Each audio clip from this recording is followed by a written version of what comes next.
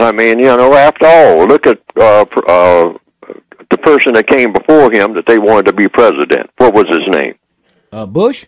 No, the president, the the the person that many people, particularly the white supremacists, were saying they wanted to be a president, and that president was going to be black. But it came before President Obama. Oh, Colin Powell. There you go. Now watch that pattern. I said at that time, I said it on air many times. I said this is a setup. Anytime the white supremacists start pushing some black person out front, and the black person doesn't even want to be pushed out front, uh, uh, uh, Mr. Colin Powell was saying, "Well, look, I've already served my time, and uh, w- what is this? Are people talking about me being president? You know, I, I could probably be president, but I'm not hankering for it.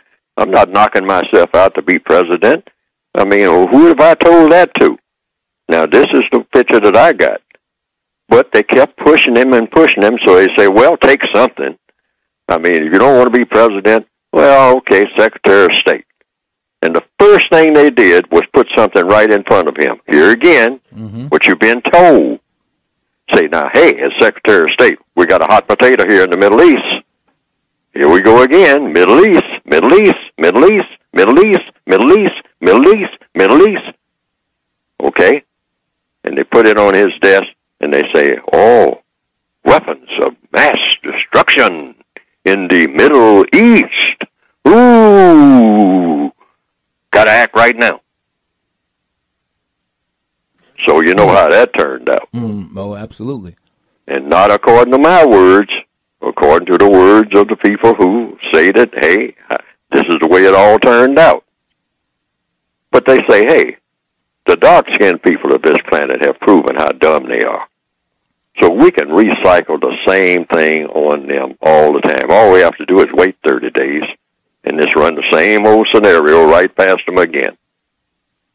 You know, after all, they're helpless anyhow. They can't do nothing about it. The few of them who can figure it out, all they can do is, you know, come on the air uh, and, you know, and woof, woof, woof about it. They ain't gonna whip us, you know. I mean, they, you know, they can't. They don't even know how they're gonna eat tomorrow unless we feed them. So we can just keep doing this because that's what we do. That's how we run the world. That's how we want to run the world. This is life to us. And why do we do it? Because that's what we have decided to do. We have decided to all be Nero and Tiberius and Julius Caesars and Alexander the Greats and keep that going forever. Because that's our philosophy of life. That's the philosophy of life of the white supremacist system. That's how we roll. That's how we roll. Yeah. This is our value system. We don't have another value system. And we have looked at all other value systems like the idea of justice and peace and all like that. And we really don't want that. We get bored with that. We can't even stand that.